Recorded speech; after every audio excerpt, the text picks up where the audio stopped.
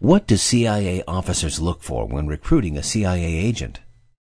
When recruiting an agent, uh, CIA officers typically first look for whether or not that person has access to secrets. That's a given. You need to have someone who's got access to information because if they don't, then they're not worth anything to us.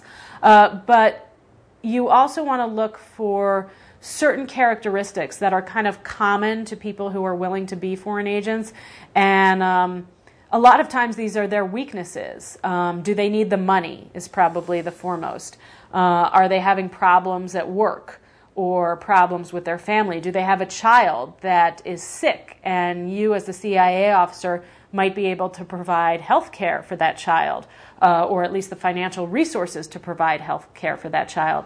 So, really, as a CIA officer, you're looking for either weaknesses or circumstances that you can exploit so that that person will want to work with you, so that that person will come to rely on his uh, or her relationship with you as the CIA officer to better his life. Um, it's a very kind of cold and calculating um, way of doing things, but it's it's the way that the CIA does things.